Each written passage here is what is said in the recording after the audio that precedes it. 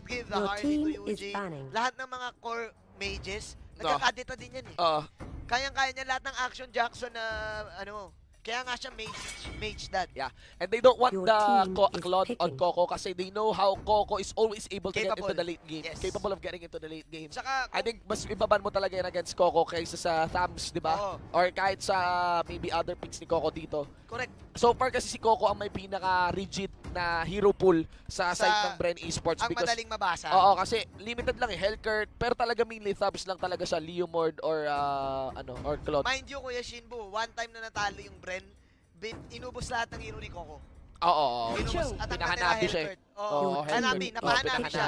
Napahanabi. Siya, pero Yeah. still may laban pa din. Kasi at pag binigay mo yung Claude kay Coco, pare Koy, mas mabilis mag-split up ang Akai, ang Kaja. Oo. kesa sa Tamos. So, tingnan mo yung delivery ng picking. dito. They're just gonna be utilizing the same lineup as they have done mula doon sa ating uh, Game 3 Oo. on the match against Geek, Fam. And wow!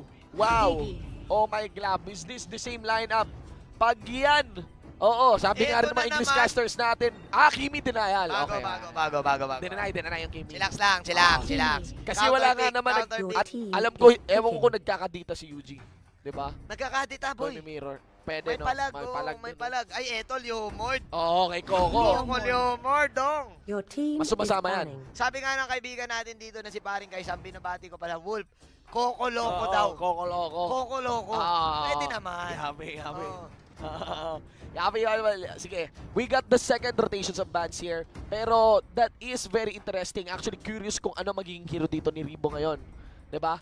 Kasi uh, we do know na madalas talaga yung Limon, it's handed on to Coco. Kasi Okay. Coco is really good on just arriving onto team fight na magki-clean up na lang. Pwedeng si Ribo ang mag-thumbs dito Oo. na open. Pero I do I do not think na magta-thumbs kasi may... Big, actually big yung lineup na eh. ngayon eh. Oo, bait eh. Uh, pwede pa mga may Guinevere pa sa mga options dito. Oh, And Gusho, na. Ba, nabibig na. respect. Hellcurt is open. Yeah. Uh, Hanabi Carry open for uh, Bren Esports. So, tignan natin. INDS now having the Kimi. Actually, Ribo can carry. Pwede Oo. mag-carry si Ribo. Tama, since multi-role itong INDS, yung Kimi pwedeng mage Kimi pa to eh. Oo. So hindi pa natin alam right now, ladies and gentlemen. I mean, siguro utilize ng konti lang. Ay, alam natin na medyo rin ganun ka-effective yung mage Kimi din eh. Diba? Fina-full BOD ka agad rush eh. Ganun. kasi Pero pang bonus na lang siguro damage. bonus. Kasi ano eh, mas asa pa rin yung Kimi dun sa normal hits kaysa Oo. yung uh, energy transformation. Yapi. Pero ang sakit nun pag naka-full ano, tapos Ah. nag-energy transformation. Mag-ban ka na lang ng tank. Ayan o, Minotaur. Yeah, Your lang. team is picking. Ganun na lang. Um, so far sa basa dito, may first pick advantage itong Bren. They could just go for the ano, carry na talaga. Ay, hindi naman na mapipik yung carry. They would go for their mage. They need to reveal a mage. Maybe siguro mage here. Kagura! Kagura. na. Kagura! The payong. Oo. payong kaibigan. Tayong kaibigan. Ni Baring Mage that wala nang tago-tago. Wala nang tago-tago, ilabas mo na. Oo. Nakita na yung lu- nakita na yung ano, yung Gushon. Eto na yun. Ang Totoo. hindi nila na-pick nung.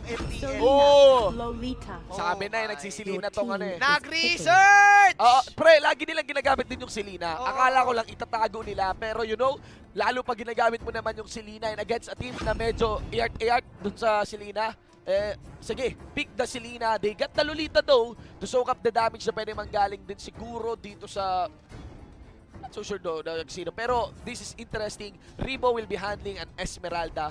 Actually, curious lang ako. I think mas may okay yatang tank kaysa sa Lolita. Pero Pero sa tingin yeah. ko, okay. wala na no choice eh. Pare ko, ah, reason why pinili ang Lolita dito, kasi it's a good combination with the arrow. Oo. After the arrow instant, yung charge ng Lolita, ano na yun eh. Bago matapos yung arrow duration, Yeah. shoot na yun. So, ngayon, Bren, proven and tested on stats, Kuya Shin.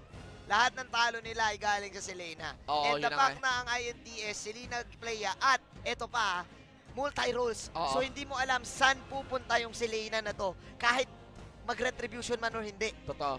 Kuya Shinbu. Totoo. Yan na nga.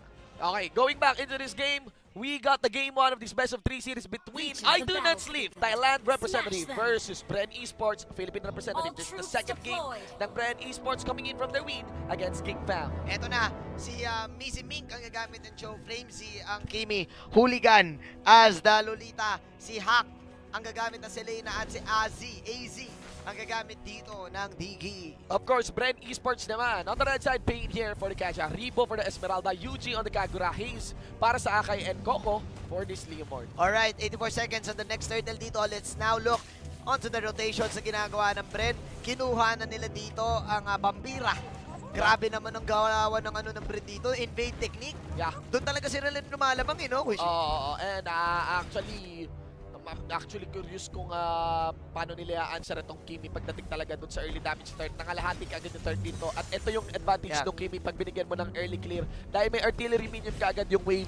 yes. Madali na On the minute 1 kasi may cannon kagad eh. So Oo. medyo good chika. And uh, napak na medyo makunat-kunat yun. And yung Kimi instant yung basag. Mabilis. Lalapit lang siya. And napak na ano pa, na pa Esmeralda pa. Pero tol, pag nag-late game, eto ah, nala- nalaro na na rin natin to. Kapag itong Esmeralda nag-full shield, bali wala yung damage si Kimi. Yeah, yeah. Kahit Ah, maghabol, kahit oo. maghabol. Kasi baka may, yung frontline ni Kimi, yun yung ah, ano yun eh, babanatan ng shield ulit ni ah, Esmeralda. Tsaka kasi- ng shield. Tsaka yung Kimi gusto mo dumikit eh. Gusto mong, I mean, yung Kimi didikit para mas masakit yung damage. Yeah, within the range. pa Oo, no? ngayon yung Esmeralda, gusto niya ring nakadikit ka sa kanya para Oo. makakuha siya ng shield. Ano, So- so, medyo chill bill. Itong game natin, I would expect that uh, the members of IDNS would be a bit more aggressive. Pero siguro dahil Bren Esports is playing this one very, very conservatively. Third advantage is on their side, but the turtle is actually on the bottom lane side naman dito. So, medyo hindi ganun ka-available yung mapa or many, wala pa rin clear advantage yung I do not sleep.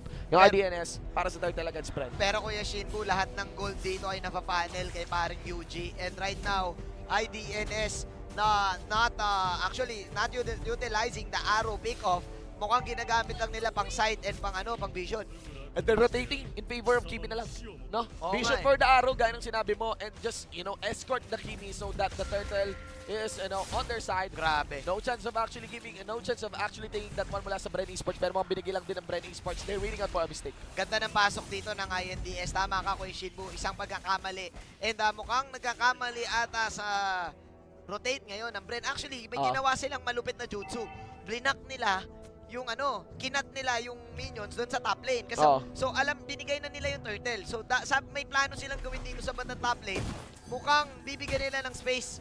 Lalo si Coco. Si Coco. Kasi nagpapakita yung dalawa sa map. Kakaibang Oo, kwento ah. oo. Hindi sila nagtitake ng 4-man rotate. Oo. 2 on 2 yung laban lagi. Yeah, yeah.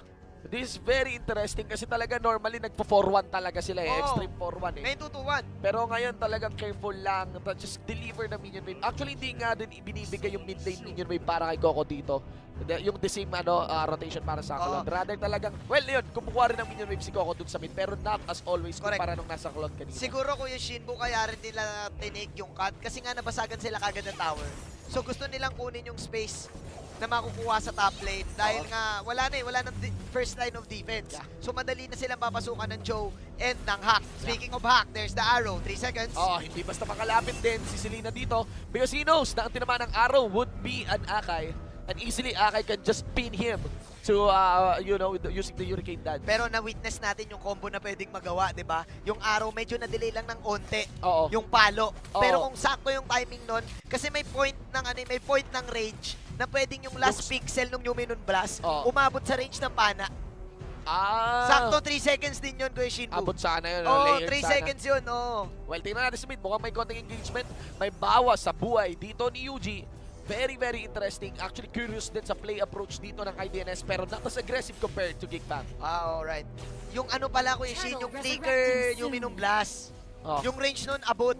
Okay. Abot. Kaya sakto pag nawala yung 3 seconds, may instant lockdown ka pa. So, kailangan mag-ingat ng Oh. friend dito. Op, Good steal.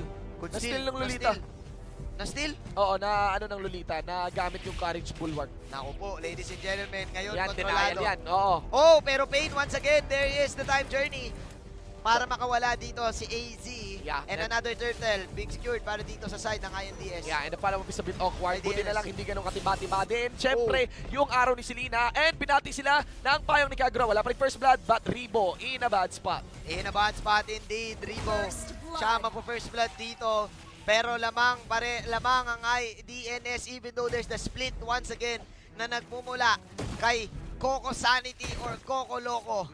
Yapi. Kuya Shinbu. Kailangan ako ng malaking play dito ni UG using the Kagura. Pero feeling ko, ah, it's no surprise for me sa ganitong lineup na mateado yung ano, yung uh, Bren just because they're uh, rolling and fighting against a team. Correct. Pero they they badly did. They cannot if they lose, If they lose another team fight, the next one, kaya may sunod ulit na namatay na wala silang gun. Basag yung Then- hanggang third. Oo, as in, dediretso na yun kasi nagkaka- magkakaroon na ng first item si Kimi niyan eh. Tsaka lumalakas ang ano dito, IDNS, Kuya Shinbu. Kakaibib to. Oo. Tsaka kung iisipin mo, boy, itong ano, itong Kimi, gamit na gamit Yeah, yeah. ng ah, IDNS in terms of rotations and everything. Isama mo na rin yung kakaibang emblem, Kuya Shinbu, ng Kimi. Ayan yung dating emblem ni Kimi. Jungle. Jungle. So, pag ubusan talaga, yung Lord, ang dalito namin yun. Kaya rin yung turtle kanina, ang dalit din na trinabaho ni Kimi. That would be the Mage Killer emblem, Kuya Shinbu. No. Napakabilis lang yan, boy. Oo, yun Bilis nga. objectives, objectives game. Pero sa team fight, mas payat. Oo, mas payat. Oo, pero, Pero may ayun, damage pa rin eh. Oh, objective ang approach ngayon dito ng IDNS. Kaya naman pala talaga nila pinaparesan ng pinaparesan yung Kimi din. They need, Brand Esports, they need to wait out for that mid game kung saan mag scale down siguro yung ah, Selena. Alright, tignan natin yung minublast dito. Sakto na naman. Oo. Sa pool kay Kuya Payne, kakasabi lang natin. Rebo going in for Falling Star Moon. Ito na ang time pool natin. Rebo, makakapag-shield pa. May rocket pa magaganap. Mukhang wala na. And right now. IDNS. Sila pa din na nagpo-push parang shield. Tapos ang ganda ng counter against sa Coco dito, no? There is just going to deliver the show para dito.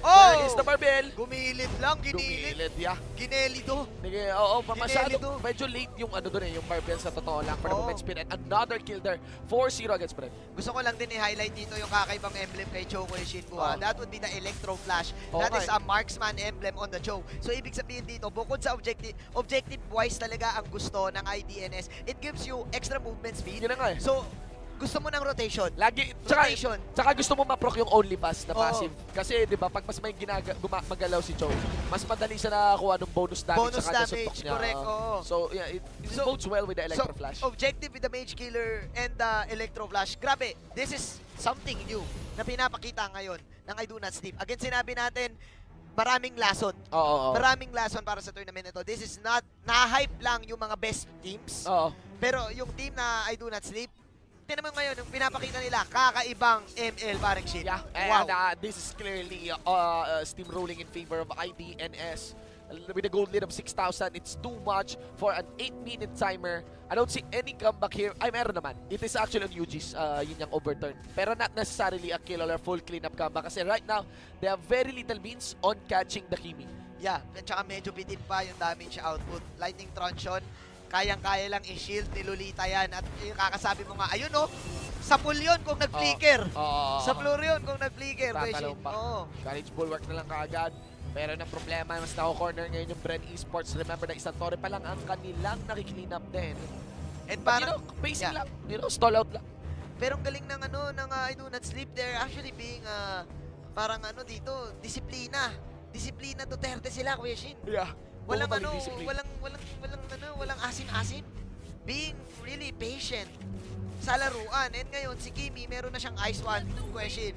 So medyo super slow. Nice good one, yeah. Oo, oo, super slow na ang laruan nila dito. So, ito yung approach nila sa Kimi, no? Not direct damage. Well, may BOD na rin, pero naka-Ice Queen 1 na pala. Ice Queen 1. So, nag-Ice Queen 1 diyan, mas So, malalong mahirap mataya ng akay. At lalong uh, makakahabol. Oo. Yun Dito ang dali yata eh, yung Esmeralda ni Ribbon, no? Hindi ganun ka-effective ngayon sa laro natin. 0-2-0 at the KDA. Parang Esmeralda, passive kasi talagang Esmeralda sa tingin ko Kuya Shin eh. Ano Yeah. siya eh.